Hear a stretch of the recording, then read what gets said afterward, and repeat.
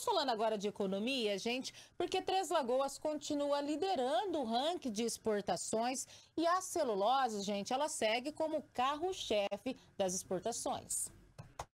Em 2011, Três Lagoas exportava 650 milhões de dólares em mercadorias, cerca de 1,95 milhão de tonelada.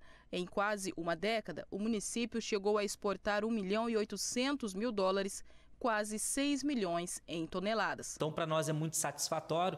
Três Lagoas ela sai na contramão. Nós conseguimos, é, é, em mais de cinco categorias da área de indústria em Três Lagoas, um saldo positivo em 2020 e em detrimento de 2019. E 2019 também, em pleno início de, de pandemia, ainda tivemos um crescimento muito bom. No primeiro semestre de 2021, já são mais de 2 milhões de toneladas de produção exportada, mais de 800 milhões de dólares, levando em consideração soja esmagada e outros resíduos, refrigeradores e maquinários elétricos, tecidos, elementos não metálicos, óleo de soja e celulose e papel.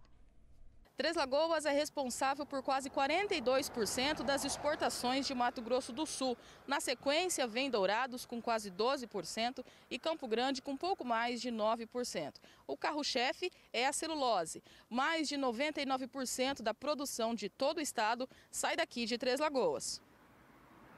Ao longo dos anos, o município teve também um aumento das exportações de óleo de soja. Atualmente, Três Lagoas é responsável por quase 50% da exportação do produto no estado de Mato Grosso do Sul.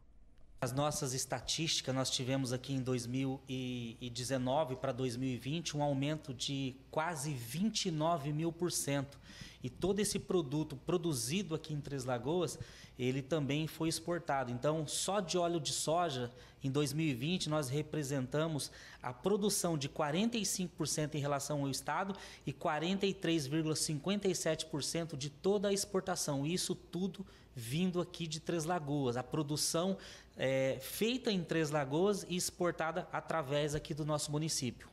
O secretário de Desenvolvimento Econômico, Toniel Fernandes, acredita que o aumento é em razão da alta demanda da produção internacional né? O município ele colabora com isso, colabora com o estado e colabora também com o, o, o, país. E Três Lagoas, como eu disse, ela é privilegiada nessa área de indústria. Então, a exportação ela traz uma arrecadação, um dinheiro muito bom para o nosso estado, para o nosso município. E ao mesmo tempo, a indústria, ela nesse período de pandemia, ela não parou totalmente. Ela continuou produzindo, ela manteve os seus números, números positivos e principalmente mantendo a, a, o trabalho dessas pessoas e aumentando ainda os postos de trabalho.